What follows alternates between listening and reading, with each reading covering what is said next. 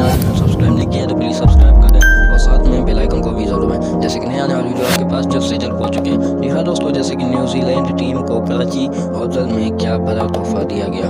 यहाँ दोस्तों, जैसे कि इंग्लैंड के बाद अब न्यूजीलैंड की टीम कराची पहुँच चुकी है। और एक बार फिर सन से सन सनी खेज मुकाबलों से आम को अच्छी तफरी फराहम हो गई। जी हाँ दोस्तों, जैसे कि इंग्लैंड